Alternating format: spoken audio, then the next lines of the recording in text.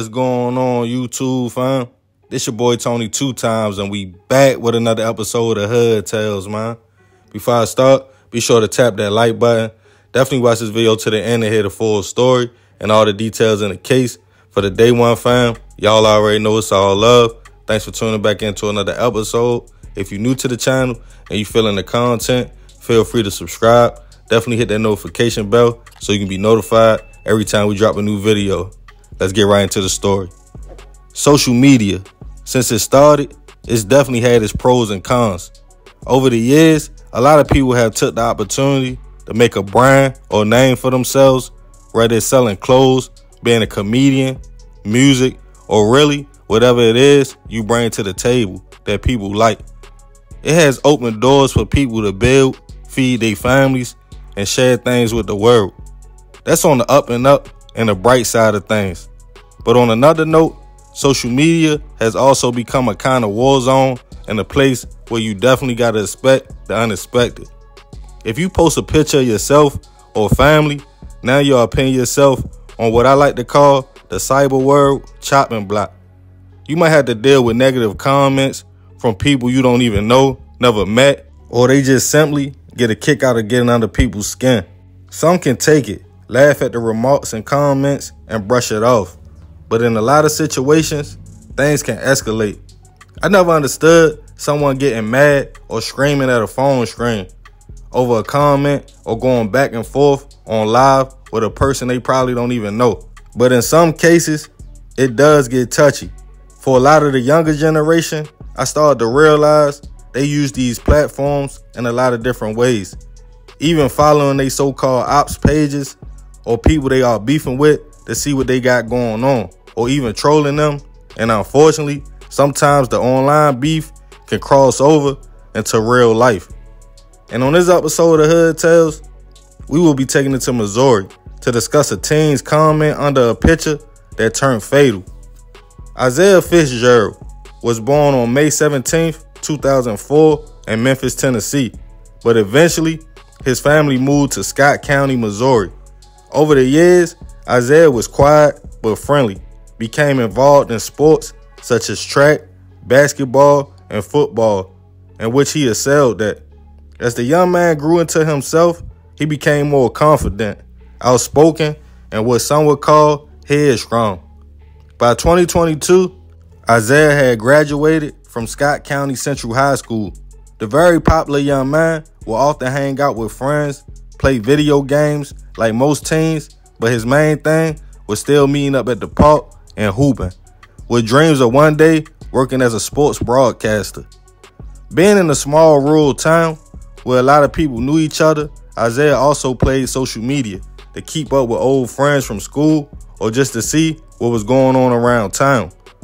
One day while scrolling on his timeline, the young man saw a post with a 20 year old man named Tanner Watkins and a young woman posted up together.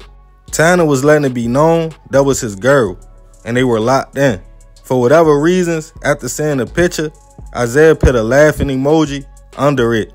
This made Tanner respond with a comment asking, So what's so funny? In which Isiah stated, I saw such and such picture, so I replied, That's all, referring to the young lady, as he knew her. This made Tanner get into a whole nother mode, telling Isiah, You always think something is funny and don't comment on my pictures. Tanner continued to state it's smoke behind his girl, and Isiah must then know who he was playing with. The two went back and forth for a minute before Isiah laughed it off, but Tanner would put a thumbs up with a target to let it be known it was beef between the two. In private conversation, the young men continued to go back and forth with each other before agreeing to meet up to fight at a local park in Sikeston, Missouri. On April 25th of this year, Isiah, a homeboy, and a young lady decided it was time to meet Tanner and get whatever the problem was off their chest. Tanner also had his homie with him, 18-year-old Caleb Ramsey. Being a small community and circle, a few other teens also came along to Rotary Park. That day as they all arrived, on a quiet Tuesday afternoon, an altercation broke out between the groups.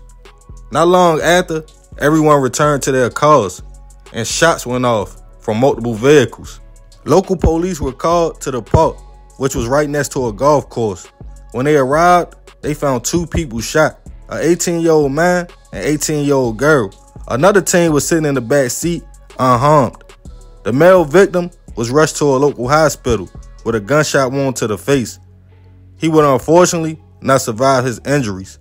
He was later identified as 18 year old Isiah Fitzgerald. The young lady would fortunately survive the shooting. Back at the scene, detectives recovered shells from an AK 47, assault rifle, and also handguns. As news spread about the incident, everyone already knew who Isiah was meeting up with to fight Tanner. Isiah's sister would go on social media and plead with friends not to retaliate and let the police do their job. Not too long after, Tanner and Caleb were picked up and taken into custody. Police allegedly found the rifle used in the shooting. They were both charged with first degree murder, first degree assault, armed criminal action, and weapon violations, and given no bail. Family and friends held a vigil to remember Isiah, being a young man full of life who had dreams and always was a shoulder to lean on for friends and family. The social media post between him and Tanner would eventually go viral, as most viewed it as a young man who lost his life over an emoji. But the small town stated it was a little deeper than that, as Isiah either had some kind of dealings with the young lady on the picture or knew her personally. This case hasn't made its way to trial yet, and both Tanner and Caleb are innocent until proven otherwise. Rest in peace to Isiah. I send my deepest prayers and condolences to his family. This to me is the downside of social media.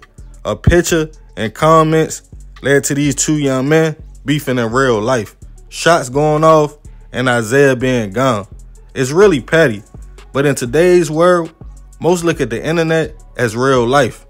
It would have been easy for Tanner not to pay attention to the comment, but his pride got in the way, feeling tried about his girl. I know most gonna say Isiah shouldn't have put the emoji there in the first place, but that's the thing about it. Once you post a picture or a status online, you are now putting yourself on display for negative or positive attention. And we gotta accept that both ways. The main thing Tanner was trying to protect was his relationship with that young lady. But now facing life in prison, I'm sure that's over with. It's a lose-lose situation. I want to know what y'all think about this situation. Leave it in the comments. Definitely be respectful. And remember, we got to succeed not to fail. So we won't be just another hood tale. Man, that's a crazy situation. Rest in peace that young man. I think it's probably a little deeper than they putting out there. It seemed like Isiah definitely knew the young lady. And as far as Tanner, he was feeling some kind of way about the situation. He asked Isiah, was he feeling some kind of way? So yeah, man. But at the end of the day, fellas, it's super petty and woman to beef over somebody, you feel me, that you just got in a relationship with, or even if you've been in a relationship with them, what's for you gonna be for you. What's not for you, you gonna already know. So all this extra stuff, you know what I mean? Oh, that's my girl, that used to be your girl. It's petty. You see where it lead at. And then at the end of the day, Shorty gonna go do whatever she wanna do. Cause now Tanner not there. So yeah, man, leave it in the comments. Like I said, definitely be respectful. I appreciate y'all if y'all made it to the end. This is another episode of Hood Tales. It's all love, fam. This your boy Tony two times. I'm out.